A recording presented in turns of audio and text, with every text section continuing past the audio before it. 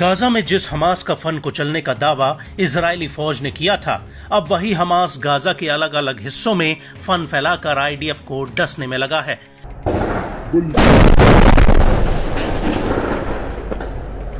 एक तरफ़ जहाँ हिजबुल्ला इसराइल के ऊपर भीषण रॉकेट और ड्रोन हमले कर रहा है,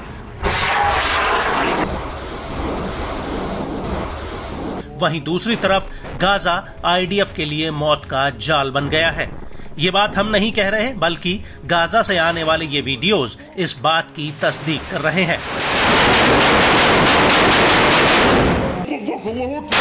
जी हाँ, हम बात कर रहे हैं गाजा के जबालिया में आईडीएफ के ऊपर हुए अटैक की, जिसमें इजरायली सेना को अभी तक का सबसे बड़ा झटका लगा है।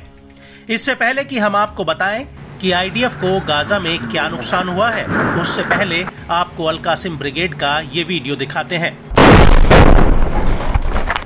ये वीडियो गाजा के जबालिया का है, जिसमें अलकासिम ब्रिगेड का एक लड़ाका एक रॉकेट नुमा विस्फोटक पर कुछ लिखता हुआ दिखता है। इसके बाद हमास के दो लड़ाके इस विस्फोटक को बाहर रास्ते में मलबे के नीचे दबा देते हैं। वहीं दूसरी तरफ़, हमास का एक लड़ाका सीसीटीवी कैमरे के ज़रिए इस रास्ते पर नज़र रखे होता है। और तभी वहाँ से आईडीएफ का एक मैरकावा टैंक गुजरता है, और जैसे ही ये टैंक बारूद वाली जगह पर पहुँचता है, वैसे ही हमास का लड़ाका रिमोट कंट्रोल से इस आईडी में ब्लास्ट कर देता है, जिसकी वजह से टैंक के परखच्चे उड़ जाते हैं।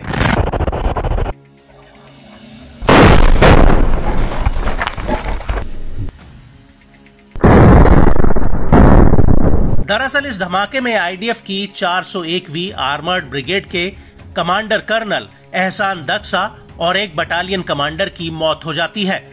उनके साथ कुछ और अधिकारी भी इस टैंक में मौजूद होते हैं।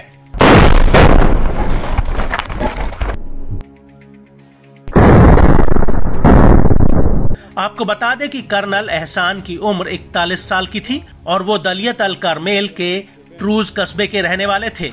बड़ी बात यह है कि कर्नल एहसान आईडीएफ के सबसे सीनियर कमांडर्स में से एक थे, जिनकी गाजा की लड़ाई में जान चली गई है।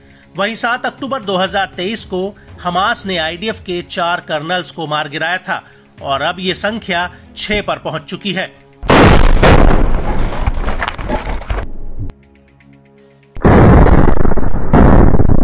आपको बता दें कि कर्नल एहसान की मौत टैंक के भीतर नहीं, बल्कि टैंक के बाहर हुई है।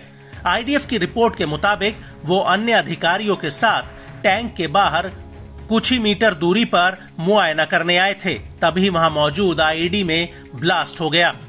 आईडीएफ के मुताबिक जहाँ पर यह ब्लास्ट हुआ, वहाँ पर बूबी ट्रैप लगा था, जिसमें कमांडर एहसान दक्सा की मौके पर ही मौत हो गई, जबकि बावनवी बटालियन के कमांडर और दो अधिकारी गंभीर रूप से घायल हुए हैं।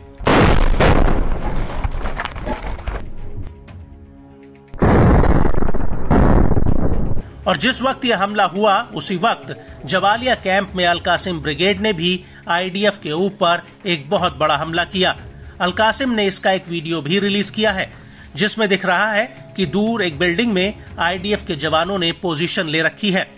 तभी अलकासिम के लड़ाके उस बिल्डिंग पर रॉकेट लॉन्चर से हमला कर देते हैं, जिसमें जोरदार ब्लास्ट होता है।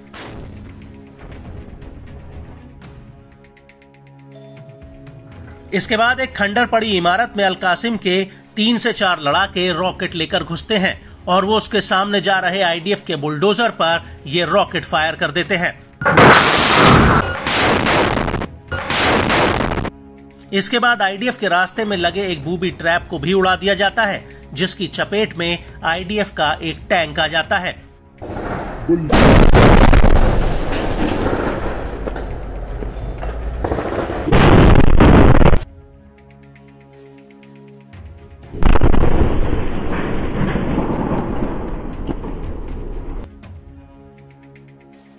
और इसके बाद हमास का एक लड़ाका मलबे के बीचों बीच खड़े एक टैंक पर रॉकेट फायर कर देता है।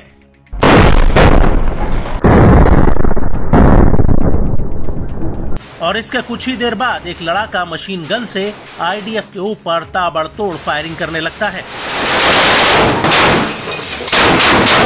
और इस हमले के दौरान ही अलकुज के लड़ाके जबालिया कैंप के बीचों बीच अल कसासिब में आईडीएफ के एक मरकावा टैंक पर आरपीजी दागते हैं। और अलकुज के इस वीडियो में पहले तो दबे पाँव दो लड़ाके हथियार लेकर गलियों में भागते नज़र आते हैं। इसके बाद ये लड़ाके एक घर में छिपकर दूर खड़े आईडीएफ के दो टैंकों पर आरपीजी दाग देते हैं, जिसमें एक बहुत बड़ा ब्लास्ट होता है।